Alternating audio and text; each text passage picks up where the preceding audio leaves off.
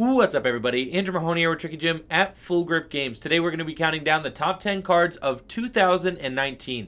2019 saw a lot of amazing developments in the Pokemon trading card game with the release of powerful new tag team Pokemon, starting with the Team Up set. So, this top 10 video is going to include the top 10 cards from Team Up through Cosmic Eclipse. Getting started right away with number 10. Coming in at the 10 spot is Tag Call, a really good card out of Cosmic Eclipse. Searches out two tag team cards from your deck.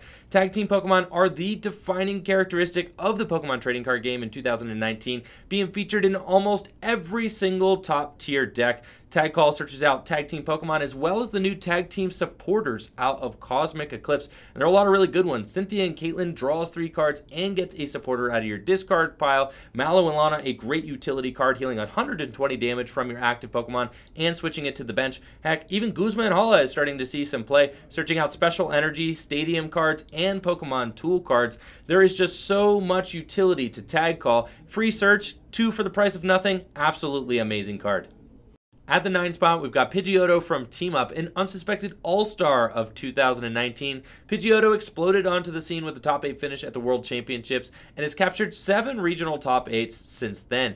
Pidgeotto's airmail ability allows you to look at the top 2 cards of your deck, put one card into your hand and the other one on the bottom, and has formed the backbone of many control decks that have been featured in both standard and expanded format. Michael Pramawat finished second place at the Portland Regional Championships with an expanded Pidgeotto control deck. And then, of course, Pidgeotto was also featured in JW's expanded uh, regional win at the Richmond Regional Championships. It's also been featured alongside Oranguru in a control style deck and standard format, which has been very popular, but also featured in some aggressive decks like Unbroken Bonds plus Cephalon that have seen a lot of success in standard format as well. How Pidgeotto will hold up when the new Cinccino from Sword and Shield arrives on the scene, we will have to see. But for now, Pidgeotto definitely deserves a spot on the top 10 cards from 2019.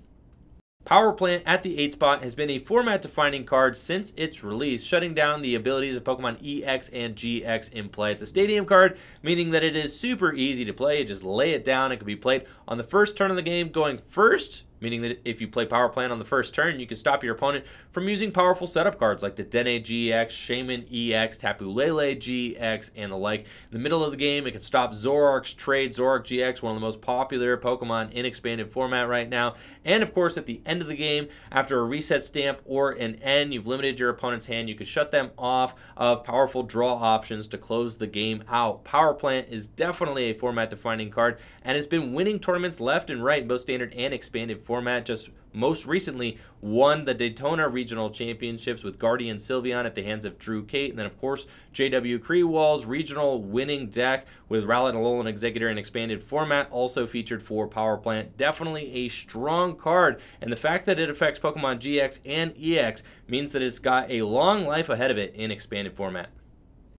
We've got our first tag team on the board with Pikarom at number 7. It is the most winning tag team Pokemon of 2019, but of course, those numbers are a little bit inflated since it was also released the earliest out of a lot of the top tier tag team Pokemon when competing with Reshizard and Mewtwo and Mew. Pikarom was released in February in the United States. It has got 32 top 8 regional finishes since its release, but only one regional championship win. It also has earned $137,000 collectively amongst players worldwide playing the card. Pikarom has been the backbone of this lightning type deck that has been an absolute powerhouse in standard format and expanded format this entire year, now being paired with Raichu and Alolan Raichu Tag Team GX Pikarom's full blitz attack, accelerating lightning energy into play, and then of course Tag Bolt, one of the most powerful attacks ever printed on a Pokemon card. But now that other tag team Pokemon have been released, Pikarom only having 240 hit points as a basic Pokemon, I can't believe I'm saying this, actually is not that big. It is one of the smallest tag team Pokemon GX available to us, with other tag team Pokemon easily boasting 270 and 280 hit points. Pikarom has fallen off a little bit since the release of Cosmic Eclipse. Will it be able to make a comeback with the new cards available to it in Sword and Shield? We'll have to see. Number six is Reshiram and Charizard GX from Unbroken Bonds. It's earned $90,000 since its release. It's won two regional championships and an international championships, and was featured in the top eight of the world championships as well. This card's pretty good. It can do 230 damage for 4 energy, which is easy to accomplish with Welder also released in Unbroken Bonds, and then can do a cool 300 damage for 6 energy going through any and all effects on the defending Pokemon. Keldeo GX does not stand a chance. Any Luminous Barrier, doesn't matter. Choice Helmet goes through all of that with its Double Blaze GX. Reshiram and Charizard is such a versatile card. It's been seen in a lot of different builds that have all seen success. Mewtwo and Mew uses Reshiram and Charizard for that Double Blaze GX attack. Also Outrage, a nice little addition that's often forgotten about, but a great attack when you have 270 hit points on this thing. Also, Green's Reshiram and Charizard uses the Green's engine to search out cards like Power Plant, Fiery Flint, and Welder. And then, of course, there's Turbo Reshizard, which uses other attackers like Heatran, Victini Prism Star, and, of course, Jirachi and Dedenne for consistency, as well as Ninetales from Team Up to gust up anything on the opponent's side of the field. Reshiram and Charizard is definitely a force to be reckoned with in the Pokemon trading card game right now, and it seems to have a bright future ahead. Like peanut butter and jelly, you can't have Reshizard without your Welder. Coming in at number 5, Welder from Unbroken Bonds, one of the best energy accelerating trainers ever printed. It puts 2 fire energy from your hand on one of your Pokemon and allows you to draw 3 cards. A lot of the most successful decks in this format rely on Welder not only to accelerate energy, but to draw through the deck. A lot of these decks are only playing for Welder as their supporters with no other draw supporters in the deck. Mewtwo and Mew decks use this strategy. Turbo Reshizard decks use this strategy as well as Blacephalon decks from Unbroken Bonds. Blacephalon GX decks also use Welder, though they do play some other auxiliary supporters as well. Welder even won the World Championships this year in Henry Brand's Mewtwo and Mew GX deck. Even though Welder hasn't quite made the hop into expanded format yet, it has been an absolutely dominant card in standard format, easily earning it the 5 spot on our top 10 list. In fourth place is Mewtwo and Mew Tag Team GX. It won the World Championships this year. It's won three regional championships since then. It has earned a collective $75,000 worldwide with players piloting the deck. Mewtwo and Mew clocking in at 270 hit points. Has an amazing ability allowing it to copy any Pokemon GX or EX attack from the bench or the discard pile. The versatility has made this card an absolute powerhouse in standard format, though it hasn't quite produced those results we were promised in expanded format yet. It will do something eventually. It has to, right? It's too good to not. But in standard format, it has been an absolute powerhouse, an absolutely format defining card, being able to copy cards like Charizard GX, Flare Blitz, 300 damage for just 4 energy. It can copy Greninja GX to go through effects on the defending Pokemon, Magcargo GX to do nearly infinite damage as well as deck out the opponent. I mean, the opportunities for this card to succeed are endless. It even copies Reshiram and Charizard GX, who we saw at the number 6 spot. Now that Mewtwo and Mew has Mega Lopunny and Jigglypuff GX from Cosmic Eclipse to copy, it is more powerful than ever. But how will the card hold up with the release of powerful Pokemon V and Pokemon V Max from Sword and Shield next year? I'm anxious to see.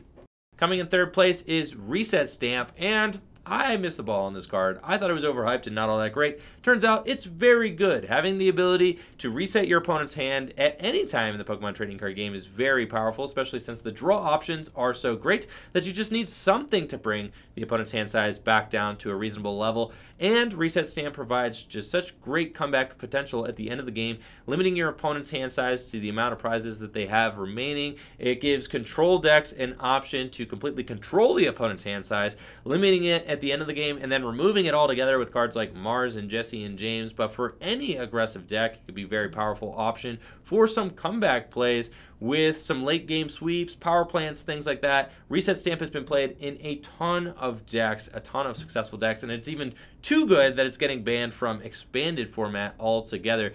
Robin Schulz defied logic and reason and did not play Reset Stamp in his International Championship winning Reshizard deck, proving that some aggressive decks don't actually need the option to reset the opponent's hand size. If they just go pedal the metal the entire way, they can bypass the need for comeback potential altogether. But most decks are playing Reset Stamp because having that comeback potential is pretty good when you start out the game losing.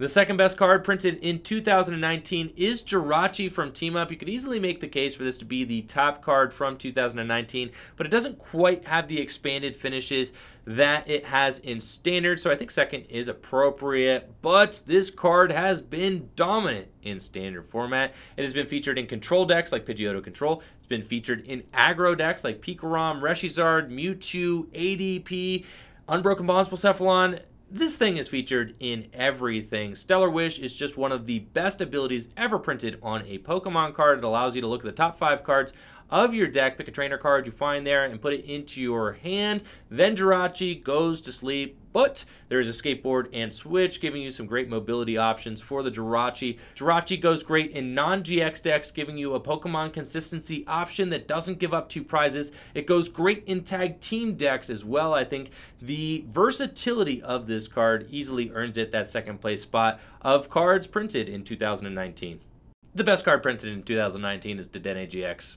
No mystery here. It's good in expanded format. It's good in standard format as well. The ability to discard your hand and draw six cards is phenomenal, and you don't have to waste your supporter for turn doing it, meaning that these welder decks that have been running rampant in standard format can get away with just playing four welder because they can use Dedenne GX to just ham through the deck and see so many cards that they're gonna find their welders if they just draw enough cards, which Dedenne GX allows you to do. When paired with Jirachi, you have absolute amazing access to your deck Dedenne GX, draw six new cards, Stellar Wish, switch, Stellar Wish. You get to see so many cards with Dedenne GX, and it's being played in expanded format since you don't always want to just set up with Shaymin EX, fill your hand to six. Sometimes it's best to just ditch cards altogether. Discarding cards is a very powerful effect in the Pokemon trading card game.